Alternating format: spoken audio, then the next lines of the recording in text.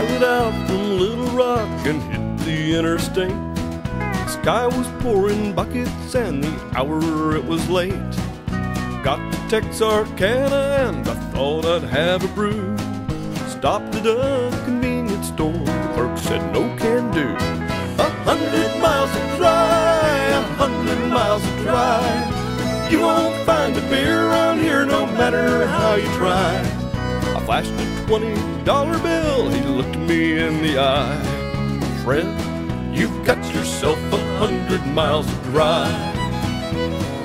I went out to the parking lot and rummaged through my car, searching for a Bud Light I'd once snuck out of a bar. No Thunderbird, no Quaker State, no Prestone could I find. As the rain began to stop, I finally lost my mind. A hundred miles of dry, a hundred miles of dry. You won't find a beer around here no matter how you try.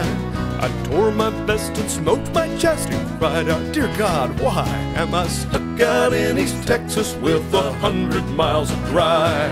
I ran back in and faced the clerk. I hollered, Who's to blame? He cried, The people made this law in our Lord's holy name. Why would these upright citizens do something so bizarre? If you ask me, that's carrying democracy too far.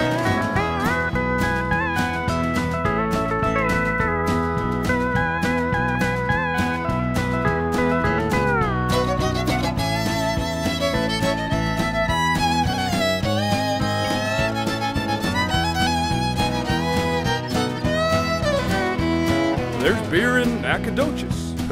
The last words from his mouth. So I gave up on Dallas and I started going south. Down there in the piney woods, I saw a friendly sign. I burst in, the clerk told me you just missed closing time. A hundred miles to dry, a hundred miles to dry. You won't find a beer around here no matter how you try.